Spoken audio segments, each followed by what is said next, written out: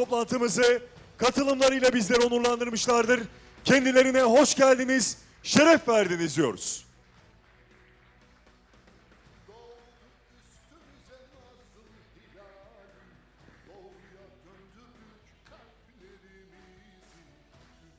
Sustum geçen yüzyıl boyunca Artık yok yeter sen de susma Hür yaşa yine de hür yaşa X, Y, Z kuşa Değil hiçbiri ben Türk genciyim Kim bana zin Ardından İstiklal Marşımızı söylemeye davet ediyoruz.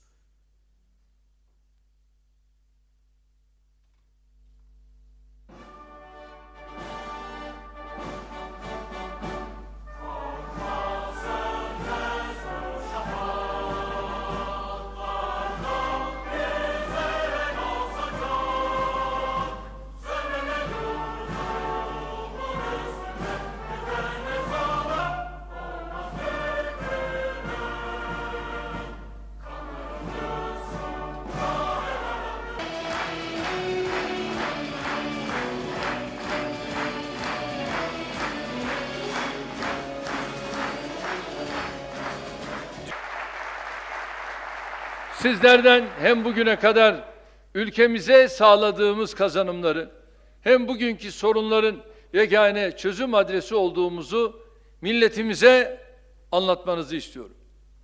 Bununla kalmayıp aynı zamanda Cumhuriyetimizin yeni yüzyılına dair hayallerimizi de bıkmadan, usanmadan insanımızla paylaşmanızı sizlerden özellikle bekliyorum. Yaptıklarımız ve yapacaklarımızla doğru şekilde bilgilendirmediğimiz her bir kardeşimizin muhalefetin yalan ve iftiralarının hedefi haline geleceğini unutmayalım.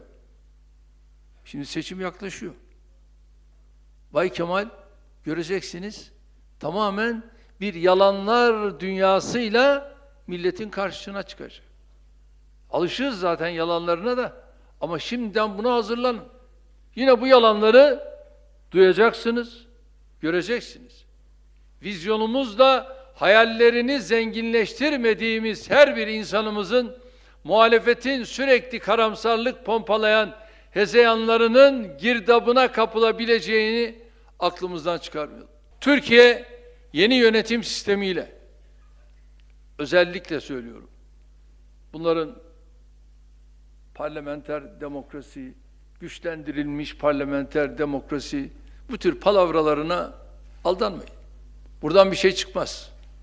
Buradan bol bol masada toplanıp dağılmak çıkar. İranlıların güzel bir atasözü var. Nişestendu goftendu berhastent. Oturdular, konuştular, dağıldılar.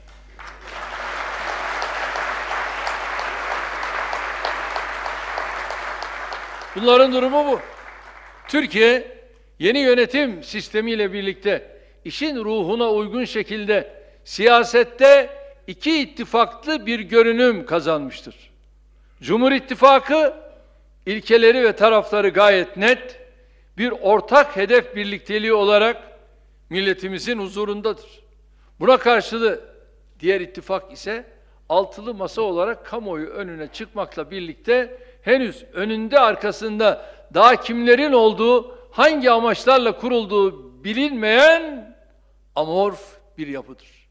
Biz en başından beri bu ittifaka kendileriyle eser ve hizmet siyasetinde, vizyonda, programda, projede yarışmak istediğimizi söyledik.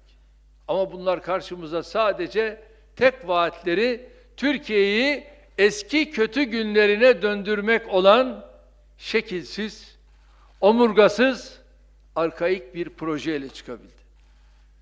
Değerli kardeşlerim, unutmayın. Biz AK Parti kurulana kadar Türkiye'de neler görmedik ki? 8 aylık hükümetler gördük mü? Bir yıllık hükümetler gördük mü? 16 aylık hükümetler gördük mü? Bunlar bu kadar kısa sürede kuruldular, dağıldılar. E benim milletim bunları biliyor. Ve bu koalisyonlardan bu ülkeye bir fayda geldi mi? Gelmedi. Netice alabildik mi? Alamadık. Öyleyse unutmayın. Mümin bir sokulduğu yerden bir daha sokulmaz. Biz bir daha sokulmak istemiyoruz. Ve AK Parti iktidarlarıyla işte 20 yıldır ne var? İstikrar var. Güven var. Güçlü devlet var. İşte biz bunu sağladık.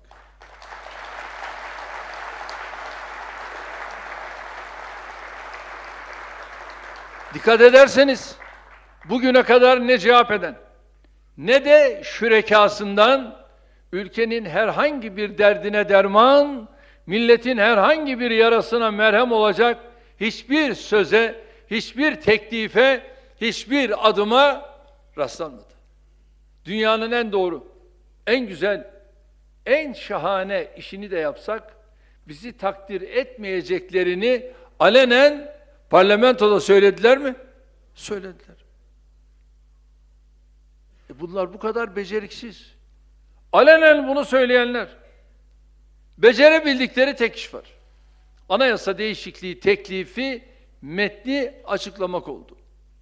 Eski Türkiye ipiyle indikleri kuyudan da çıkarta çıkarta terör örgütünün güdümündeki partiyi kollayan masanın etrafındakilere gülücük dağıtan ucube bir teklif çıkarttılar. Şöyle bir gözden geçireyim dedim. Bir gözden geçirdim. Değerli arkadaşlar, ne var?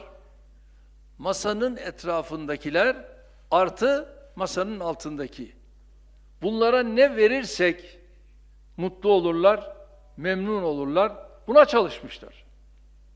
Baştan aşağı şöyle incelediğiniz zaman bunu görürsünüz. Birisinin derdi ne?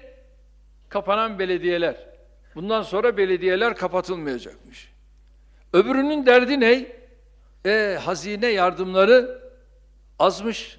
Dolayısıyla hazine yardımlarını en az bire çekip herkes buradan nasibini alacakmış. Herkese bir şey verelim. Bunu yapmak suretiyle oy toplayacaklarını zannediyorlar. Benim milletim bunu yutmaz. Çünkü benim milletim bu ülkeye, bu millete ve bu devlete ne gelecek buna bakar.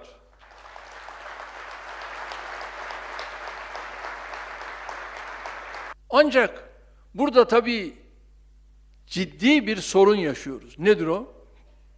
Özellikle medya. Yatıyorlar, kalkıyorlar, belli bazı isimleri ekrana çıkarmak suretiyle oradan markette market, markette market yaptıkları iş bu. Değerli arkadaşlar ve bu marketlerle ilgili bu gerek zincir marketlerde gerek diğer marketlerle alakalı işte fiyatlar birisinde şöyle, birisinde böyle, birisinde şöyle söyledikleri bu. Ve bu hafta yaptığımız kabine toplantısında da arkadaşlarımıza söyledim. Dedim ki başta Ticaret Bakanlığımız olmak üzere kontrollerimizi daha da sıklaştıracağız. Daha da farklı hale getireceğiz. Bütün mesele özellikle de bu fiyat farklılıklarını gidermenin yollarını şiddetle arayacağız. Bunun yanında tabii bakıyorsunuz birçok birimlerde ekonomide farklılıklar var. Bunları da kontrol mekanizmalarımızla fiyat istikrar komitesini kurarak fiyat istikrar komitesiyle de bunların takibini yapacağız. Ve muhalefetin açıkladıkları değişiklik teklifleri insanların gerçek sorunlarına çözüm getirmek yerine yine söylüyorum altılı masanın taraflarının siyasi çıkarlarını koruma ve halka tepeden bakan seçkinci zihniyeti yansıtan bir içeriğe sahiptir. Tabii orada şimdi sıfır virgüllü olanlar var. Bir olanlar var. Şimdi onlara da ne diyorlar? Bak senin sıfır virgül şu kadar ama şimdi biz yapacağımız bu değişiklikle sana da bir kıyamız olacak. E, dolayısıyla e, burada el ele verip yola devam edeceğiz. Yaptıkları iş bu. Ama Cumhur İttifakı'nın böyle bir sorunu yok. Cumhur İttifakı millete hizmet yolunda daha neler yapabiliriz? Bunun gayreti içerisinde. Biliyorsunuz biz ülkemizi darbe anayasası ayıbından kurtararak yeni özgürlükçü sivil bir anayasaya kavuşturmak için epeydir uğraşıyoruz. Yaptığımız tekliflerin önü ya meclis safhasında çıkmaza sokularak ya da görmezden gelinerek hep kapatıldı. Bunların gittikleri yer neresidir? Her zaman Anayasa Mahkemesi. Hep orası. Mecliste görüşmeler yapılır. Oradan doğru Anayasa Mahkemesi'ne. Ve şimdi yeni düzenlemede bir de şunu söylüyorlar. Cumhurbaşkanı herhangi bir iade vesaire yapamayacak. Bu Cumhurbaşkanı niye var? Bunların şimdi hazırladıkları tezgah böyle. Dünyanın hiçbir gelişmiş ülkesinde böyle bir anlayış var mı? Yok. Ama çok partili demokraside işte bunları biz geçmişte yaşadık. Vardı, şimdi var. Ama bir şey daha gerekiyor. Nedir o? E birilerine başbakanlık vermeleri lazım. E başbakanlık verme noktasında da başkanlık sisteminde tabii bu yok. E başkanlık sisteminde ne var? E başkan yardımcısı var. Başbakan yok. Ama birileri de başbakanlık bekliyor. Öyleyse çok partili parlamenter sistemde başbakan bir yere koyabiliriz. Anlayış bu. Hayırlı olsun. Bizim böyle bir derdimiz yok. Bunca tartışmanın ardından ortaya konan teklif metni CHP ve masa arkadaşlarının ülkenin ve milletin geleceğine dair hiçbir hayallerinin, hiçbir vizyonlarının, hiçbir hazırlıklarının olmadığını teyit etmiştir.